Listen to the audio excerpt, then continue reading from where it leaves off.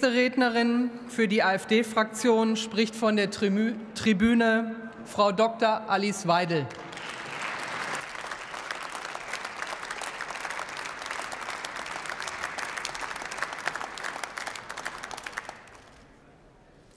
Sehr geehrte Frau Präsidentin, sehr geehrte Damen und Herren!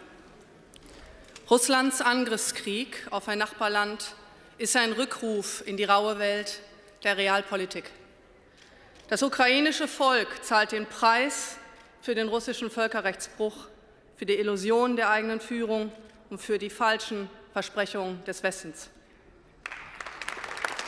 Es war ein verhängnisvoller Fehler, die Ukraine mit den unerfüllbaren Versprechen einer Mitgliedschaft in NATO und EU in eine aussichtslose Konfrontation und eine gefährliche Zerreißprobe zu locken. Klüger, klüger wäre es gewesen, auf Henry Kissinger zu hören, der schon 2014 richtig festgestellt hat, ich zitiere, um zu überleben und sich zu entwickeln, darf die Ukraine niemandes Vorposten sein. Zitat Ende. Dass eine NATO-Mitgliedschaft der Ukraine eine rote Linie darstellt, deren Überschreiten Russland nicht hinnehmen würde, wie die vorangegangenen NATO-Osterweiterungsrunden, liegt seit fast zwei Jahrzehnten klar auf dem Tisch.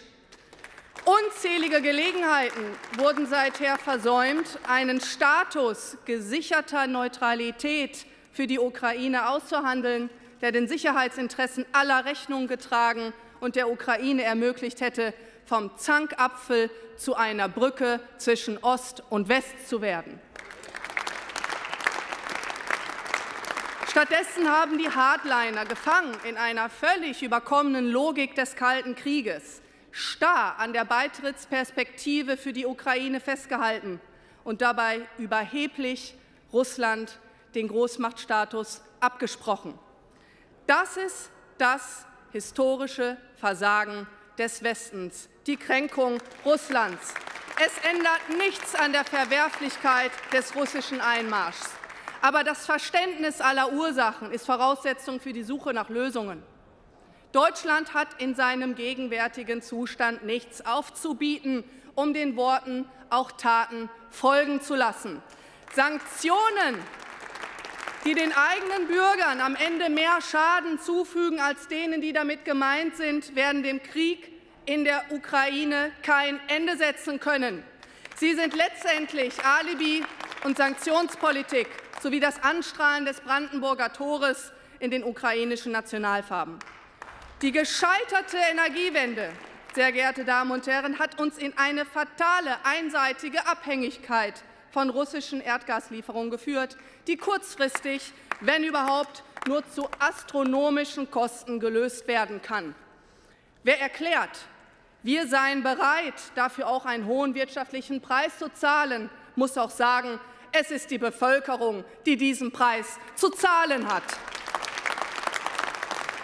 Es hat im Übrigen auch Gründe, dass die USA nicht daran denken, auf ihre beträchtlichen Ölimporte aus Russland zu verzichten. Sicherheitspolitisch ist Deutschland ebenfalls ein Leichtgewicht geworden. Die Bundeswehr steht blank da, gesteht sogar der Inspektor des Heeres in selten gewordener Offenheit ein. Eine heruntergewirtschaftete Armee und eine marginalisierte Rüstungsindustrie, das ist das Erbe von 16 Jahren Angela Merkel, Herr Merz. Wer soll uns noch ernst nehmen, wenn wir uns wirtschaftlich und militärisch das Rückgrat brechen und uns statt mit realen Problemen, mit Gender-Gaga und ideologischen Experimenten dort beschäftigen? Das ist grober Unfug. Wir müssen den Weckruf der Realpolitik hören. Wir brauchen Energiepolitik, die den Fokus auf Unabhängigkeit und Versorgungssicherheit legt. Der Schlüssel Dazu sind weder noch mehr Windräder noch Flüssiggas aus den USA, sondern der Wiedereinstieg in die friedliche Nutzung der Kernenergie, wie denn auch sonst.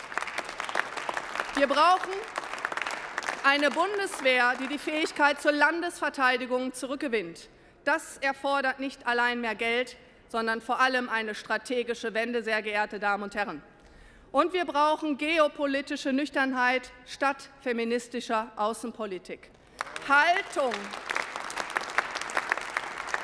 Haltung und schöne Worte sind kein Ersatz für Realpolitik. Und auch nach diesem Krieg werden wir mit Russland immer noch auf einem Kontinent leben. Die Herausforderung, eine europäische Sicherheitsarchitektur zu schaffen, die das Ost-West-Blockdenken überwindet, ist nicht vom Tisch, aber sie ist schwieriger geworden. Deutschland kann und sollte hier eine wichtige Rolle als ehrlicher Makler spielen. Voraussetzung ist, dass wir die richtigen Konsequenzen ziehen und verlorenes Vertrauen, Souveränität und Handlungsfreiheit wieder aufbauen und uns bloß nicht unreflektiert in einen Krieg hineinziehen lassen, sehr geehrte Damen und Herren. Ich bedanke mich.